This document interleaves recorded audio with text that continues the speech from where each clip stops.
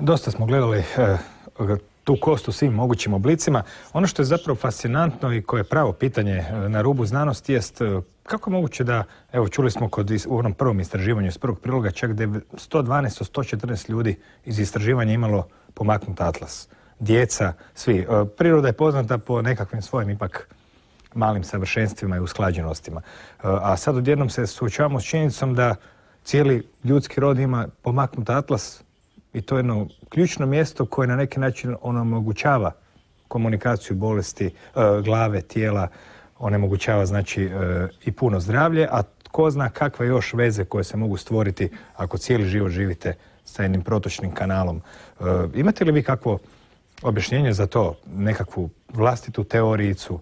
Da li se netko drugi zapitao to pitanje? Vjerojatno mnogi jesu.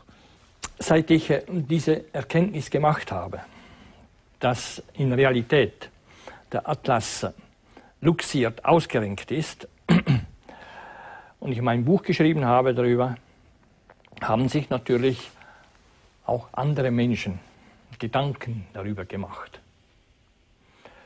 Es gibt verschiedene Theorien darüber. Was Recite nam neko tih teorija.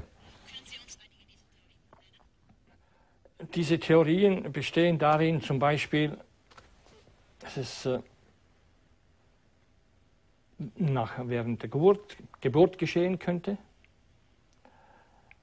Der Atlas ist aber schon im Mutterleib luxiert. Kommen wir vielleicht später noch darauf zurück. Es besteht die Theorie auch, dass es eine Strafe Gottes sei, es besteht eine Theorie, die besagt, äh, es könnte eine genetische Manipulation sein.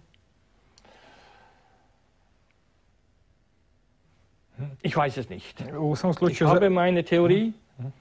Ich könnte mir vorstellen, dass äh, die Schrägstellung der Erdachse einen Einfluss auf unseren Atlas haben könnte.